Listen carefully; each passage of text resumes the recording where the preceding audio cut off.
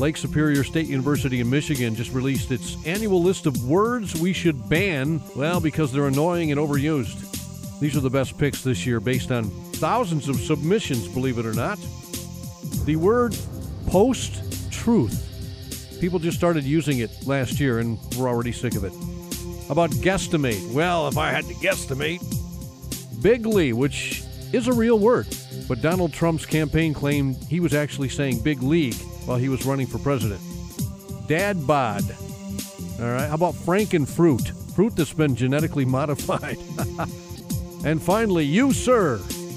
Like when you start a sentence by saying, you, sir, are an idiot, or this is an idiot, or possibly, No, sir, I didn't like it.